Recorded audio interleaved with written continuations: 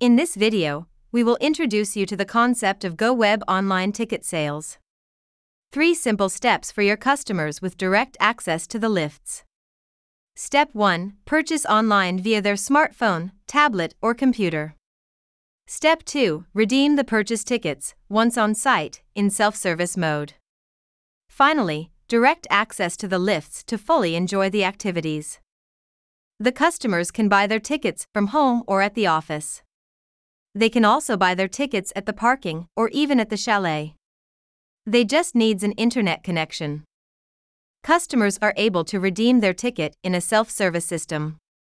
You have just to make ticket printers available at the customer services. Each printer would have its own QR barcode that identify the printer. When your customer is in front of the printer he wants to use, he log into his account using his smartphone.